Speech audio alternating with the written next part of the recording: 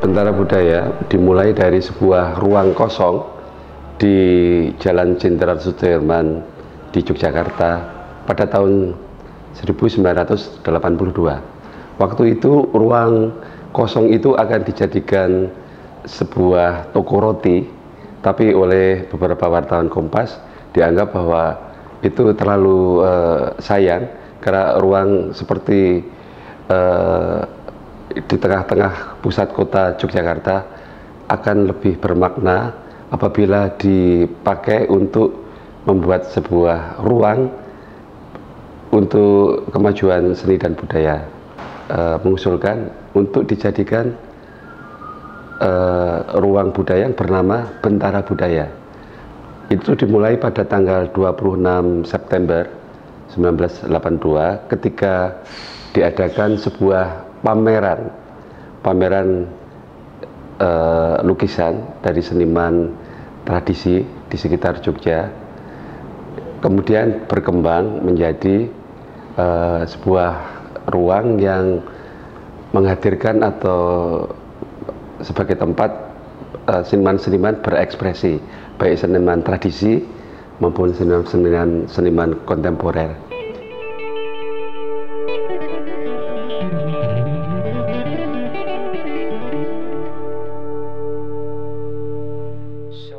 dimulai dari Jogja, kemudian tahun 1986 mulai ada ide untuk membangun Bentara Budaya di Jakarta.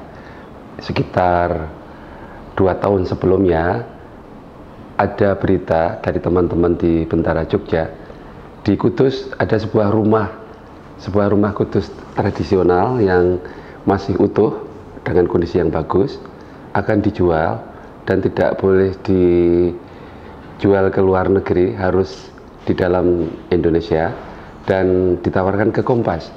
Akhirnya Kompas membeli dan itu berdiri sampai sekarang sebagai ikon dari Bentara Budaya Jakarta. Kemudian eh, dikontaklah Romo Mangunwijaya untuk mendesain arsitek arsitekturnya yang sampai sekarang masih berdiri megah di sini.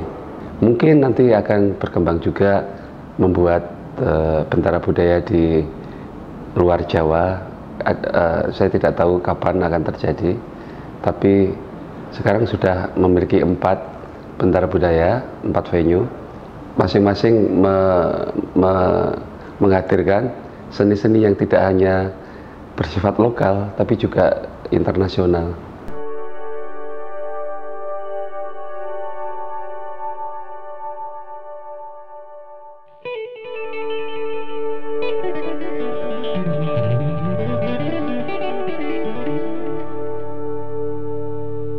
Yang penting adalah kita ingin mengajak seniman untuk berpameran di Bentar Budaya di empat venue.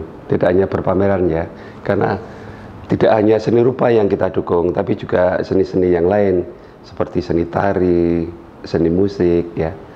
Kami memberikan tempat untuk berekspresi bagi mereka dan juga untuk mempromosikan mereka untuk uh, sebagai contoh kalau kita mengangkat sebuah pameran seni lukis kaca misalnya dari Cirebon ya mereka kita bawa ke Bentara untuk dipamerkan dan siapa tahu nanti ada kolektor yang akan datang langsung sendiri ke desa-desa mereka untuk membeli atau mengajak mereka berpameran di lain tempat di luar Bentara Budaya itu sungguh bagi kami sungguh sangat mengembirakan. Uh, memang uh, kalau kita cermati Bentara Budaya lahir tahun uh, 1982 itu kondisi galeri di Indonesia memang belum banyak yang hadir, belum belum banyak muncul galeri-galeri yang dinilai galeri komersial ya. Dan Bentara Budaya sendiri dengan langkah-langkahnya untuk mengangkat seniman-seniman uh, pada era zaman itu itu menjadi sesuatu uh, panggung yang dominan bagi panggung seni rupa Indonesia. Dan uh, perkembangannya sendiri seperti kita lihat sekarang dengan adanya perkembangan global dan sebagainya sangat uh, kaya dengan munculnya atau hadir, hadirnya galeri-galeri di beberapa kota tidak hanya di pusat-pusat kota besar tapi juga kota-kota yang relatif kecil.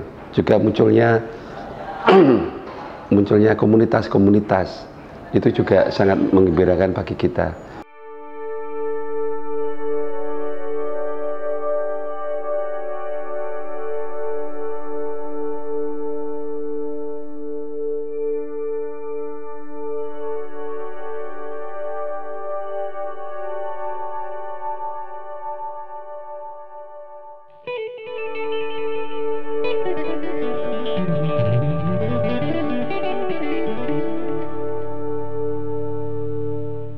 Bentara Budaya Jogja maupun Bentara Budaya Jakarta bagi saya merupakan sebuah lembaga kebudayaan yang memiliki visi yang sangat tangguh untuk diperjuangkan gitu. Jadi sangat uh, memperhatikan uh, keberadaan seni-seni tradisi maupun seni-seni yang terpinggirkan.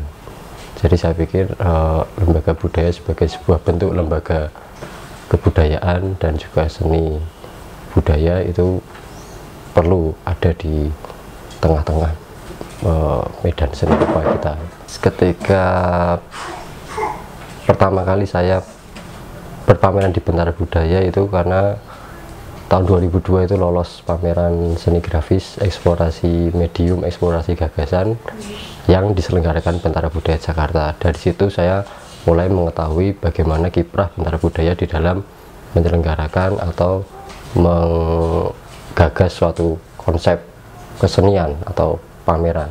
Dari situ saya melihat bentar budaya di sini memang sangat concern di dalam memperhatikan eh, karya-karya uh, yang mungkin tidak terlalu mainstream gitu.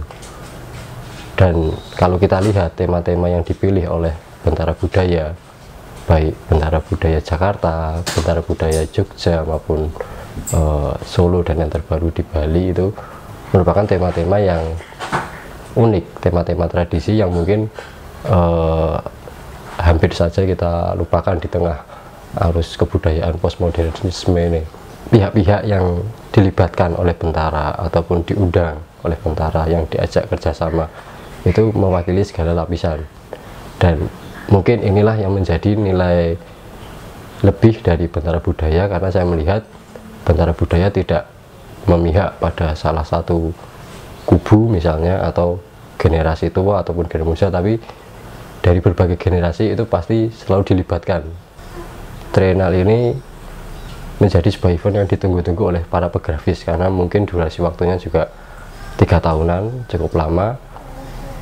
Namun dampak yang terjadi itu uh, saya pikir juga karena mungkin durasi waktunya lama kadang tidak terlalu signifikan dengan uh, antusias para pegrafis jadi ketika akan ada trinal itu pasti akan beramai-ramai bikin karya tapi setelah trinal akhirnya senyap lagi gitu hmm.